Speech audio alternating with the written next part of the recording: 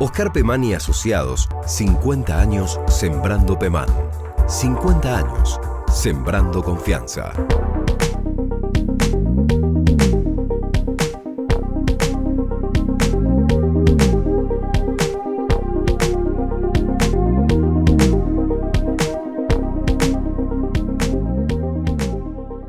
Principalmente lo que se buscaba en el establecimiento era estabilizar la cadena forrajera.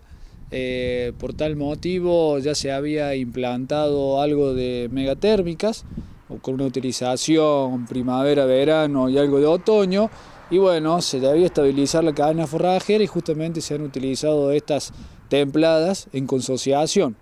Eso como primer objetivo y como segundo objetivo se buscaba una adaptación a la zona y no solamente a la zona sino también a la limitante que tenía el productor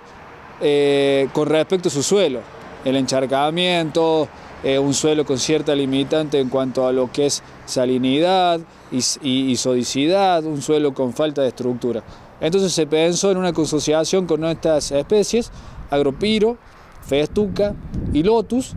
buscando justamente una, una consociación en donde la gramínea aporta la fibra, eh, la leguminosa aporta parte de la proteína, sin dejar de lado la, rusticidad y la adaptación al suelo principalmente. Este, y bueno, la experiencia básicamente es sobre grama Rhodes como pastura megatérmica y este año, bueno, debido a las inclemencias del tiempo, en una zona de los bajos inundables eh, se empezó a trazar la siembra por, no poder entrar por falta de piso y se realizó bueno, un, barbecho en primavera y luego un barbecho en el verano.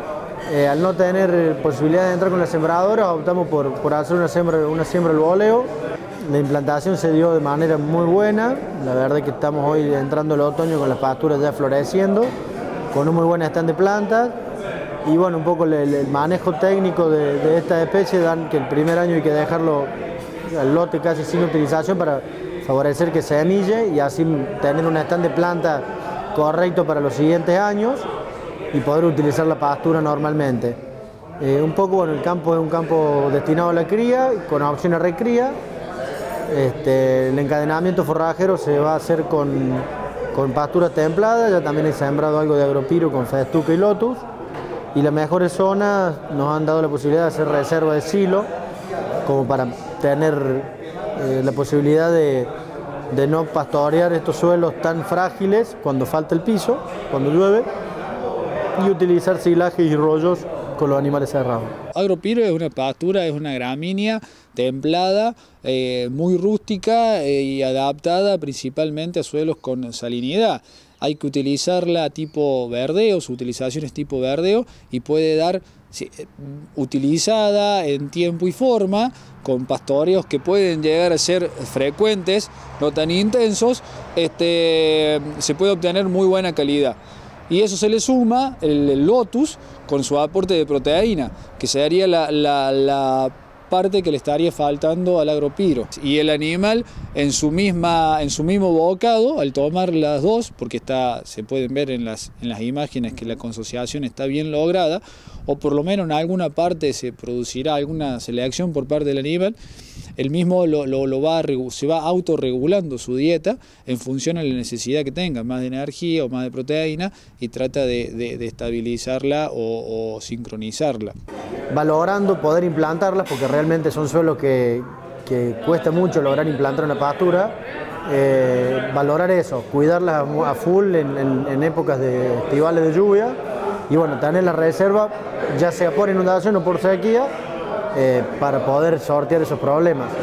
Puntualmente este productor se, encontró en esa fecha del 2016 con el inconveniente de las grandes precipitaciones, las inundaciones y terminó sembrándolo entre junio y julio del 2016. Estamos hablando de que se trabajó con unos eh, entre 20 y 25 kilos de agropiro, unos 12 kilos de festuca, la cual no se hizo muy presente, se estableció de una manera más lenta y no se visualiza mucha, y con unos 3 a 4 kilos de lotus. Lo ideal de este tipo de pasturas es hacer un,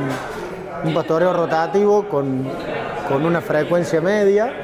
con intensidades altas de foliación, es decir, manejar altas cargas en poco, en poco tiempo y, y, luego darle descanso para que la pastura vuelva a recuperar sus reservas y la vuelves a utilizar, digamos, en época estival alrededor de los 30, 35 días. Eh, de esa manera lo que se logra es recolectar más forraje por hectárea. El pastoreo rotativo te permite aumentar la eficiencia de pastoreo, digamos, de esta pastura. Eh, los resultados se pueden ver en, las imágenes e inclusive la, diferenciación con la, la utilización que se ha hecho de una grama Rhodes ya implantada y la otra implantándose, ¿no es cierto? El cultivar Reclaimer es un cultivar que nosotros lo importamos desde Australia, es una selección y mejora del cultivar Finecat, que ya hace unos años está en el mercado, que a la vez deriva de catambora, o sea, podemos hablar que tiene características derivadas de la familia de las catamboras. En este caso, lo que se lo que se ha incrementado eh, o mejorado es la producción, la calidad sin dejar de lado el tema de la tolerancia a, salinidad y sodicidad en, cuyo caso o su tolerancia a negamientos. Es una grama particularmente pensada para el pastoreo directo, ¿no es cierto? Obviamente que al lograr ya una cobertura del suelo, lo que vos primero estás impidiendo es, correntía en lluvias grandes, favorecer a la infiltración de esa agua y que no se escurra a los lugares bajos, provocando más daño y en épocas de sequía, obviamente la napa, que son lugares donde la napa está presente siempre, ayuda a que la pastura produzca. Entonces una vez logrado, vos sabes que en un año malo vas a producir poco, pero vas a producir y el año bueno la producción se expresa al máximo. No, las pasturas son muy buenas, la verdad que hay eh, una gama muy amplia y sí lo que por ahí está faltando es, prácticas de manejo simples a campo que, las puedan,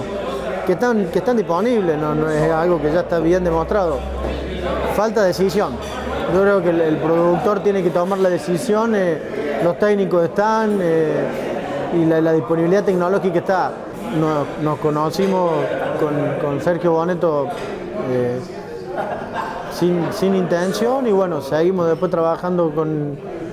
con PEMAN con el tema de los sorgos y nos iniciamos nosotros teniendo muy buenos resultados con el silero, en, lo que es para engorde. Este, y bueno, después, dadas las circunstancias, se, dio la posibilidad de hacer pasturas acá, en la zona de entre las varillas y el molle. Y bueno, la verdad que una relación excelente, el técnico de, de también hemos tenido muy buenas relaciones y me ha servido de ayuda y de sostén a la hora de tomar las decisiones.